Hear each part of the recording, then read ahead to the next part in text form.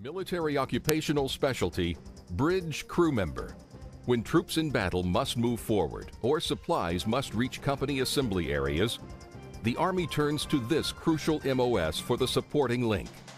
For this, the Army will train you to cross both natural and man made obstacles that include ravines and lakes and rivers as a reconnaissance team finding information on crossings and defending them. You'll also train to quickly assemble ribbon bridges that can transport tanks and vehicles over 700 feet.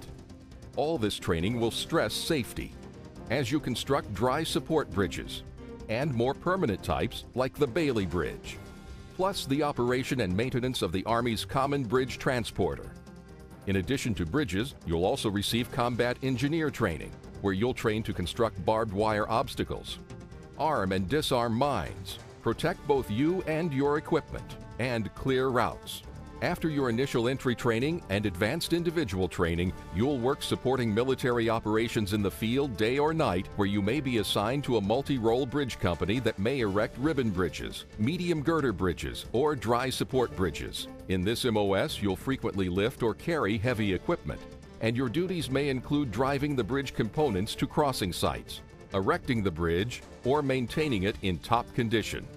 Serving in this MOS can help you transition from the military to the civilian employment sector because your skills in leadership, teamwork, and problem solving, combined with a more developed sense of responsibility, self discipline, and motivation, are skills and values in demand by civilian employers.